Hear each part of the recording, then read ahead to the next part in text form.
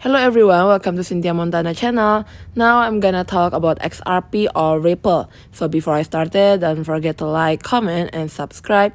So uh, XRP win the SEC law and now it's going getting higher, right? It's in the 4 hour chart, it's already above the upper band here on the 1.1847 US dollar and try to push it already to 1.23. If they can break the 1.23, then it will try to go up, go to the 1.5, right? For the moving average also is already above all of the moving average.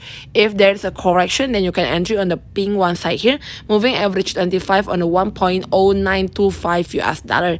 Still, if the price is still above the moving average 7, 1.148, then still having opportunity to go up and getting higher.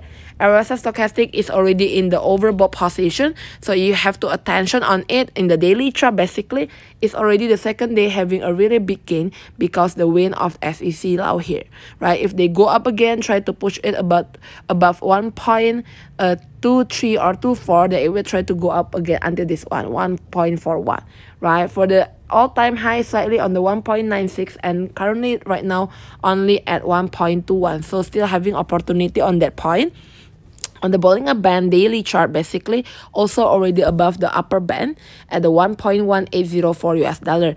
Uh, the price range is between 0.835 until 1.18. Thank you everyone for watching this video. Don't forget to like, comment.